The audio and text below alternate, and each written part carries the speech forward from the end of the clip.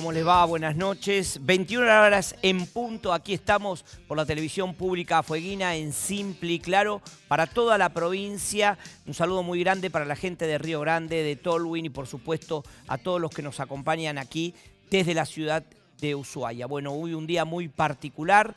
Ya vamos a hablar quién nos van a estar acompañando en el día de hoy. Pero en primer lugar me quiero referir un poco a esta revolución que hubo hoy con el tema de la City porteña, ¿no? Donde se maneja toda la macroeconomía del país.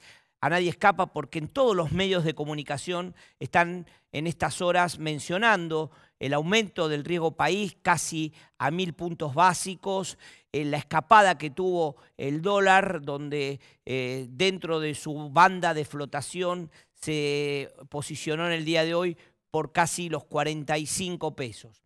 Pero no quisiera solamente referirme a lo que sucede en el día a día con el tema números o económicos, sino buscar un poco la problemática, de dónde nace todo este tema de lo que hoy hace de que el riego país se dispare, el dólar siga desatado si se quiere.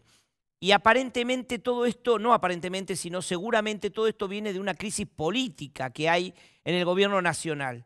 No escapa a la realidad de que una situación económica micro o macro se puede manejar técnicamente, pero para eso se necesitan tomar decisiones políticas. Y hoy el gobierno nacional lo que está haciendo es no tomar esas decisiones políticas para poder ordenar en lo que tenga que ver a los temas macro. Y seguramente se vayan a referir a la herencia, a lo que pasó hace 70 años, pero la realidad es que hoy le toca al gobierno del PRO gobernar a nivel nacional y necesitan la gente de Cambiemos solucionar este problema que tiene la economía de nuestro país, que genera incertidumbre, desazón en los trabajadores, preocupación. Y claro, esto genera falta de confianza. Y la falta de confianza es lo que realmente preocupa a todos los ciudadanos de nuestro país, ni hablar a lo que pasa en una provincia como la nuestra, donde también dependemos, como el resto de las provincias,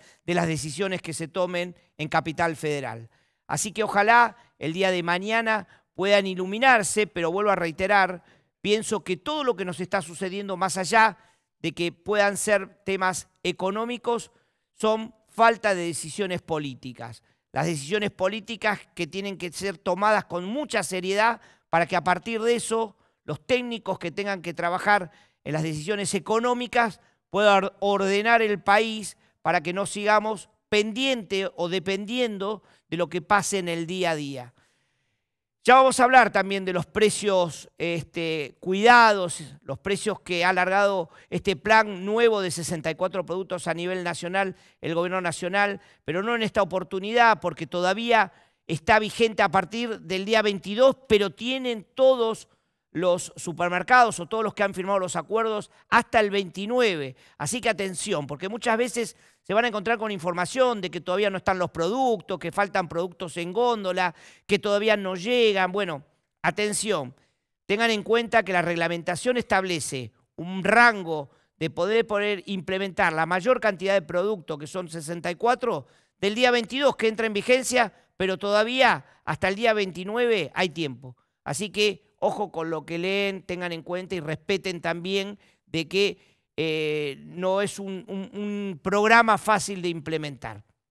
Bueno, vamos a hablar un poquito de los invitados que vamos a recibir en el día de hoy. Hoy nos va a estar acompañando el ex concejal Luis Lolo Cárdenas, todos los recuerdan seguramente, su paso por el IPB también en el gobierno de Roxana Bertone. Él es el presidente del PAR, el partido de arraigo, que va a estar visitándonos para comentarnos un poco cuál es su proyección hacia el Consejo Deliberante, porque así lo ha manifestado públicamente de su elección ahora próximamente a las elecciones del mes de junio, de presentarse como candidato, con quién ha conformado alianzas, cómo van con el frente. Bueno, vamos a estar hablando de estos temas y también de su actividad cuando fue concejal, porque él ya tiene la experiencia de haber estado al frente en una este, banca.